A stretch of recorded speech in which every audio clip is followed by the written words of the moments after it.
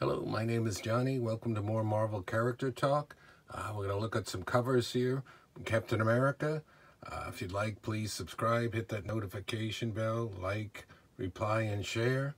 Might be sending these in to have them um, CGC'd.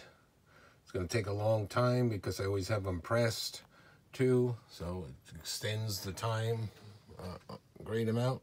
It's the first issue in his own magazine at last the big premiere issue. Black Panther looking really cool on there. Always like Giant Man. Uh, there's uh, Agent 13, also known as Sharon Carter. Got Submariner and Jack Kirby cover. And then we've got uh, the first Falcon, Coming of the Falcon. Uh, this is from 69. See the price had changed from 12 cents to 15. Inflation had started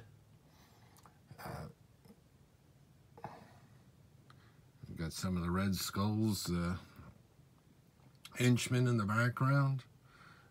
And I believe that's a Gene Colan cover. So, pretty nice. These are are in just okay shape, but sending them in, they're still to preserve them when they're put in that. And then uh, the resale value of these would probably be a few hundred, depending on what they get. I don't know if this one's like a four or so. And then this one's kind of, uh, I don't know if you say it's faded. It's sort of discolored or something. It looks darker in real life than it seems to be showing up when I'm filming it. Uh, classic covers. So that's some nice Captain Americas.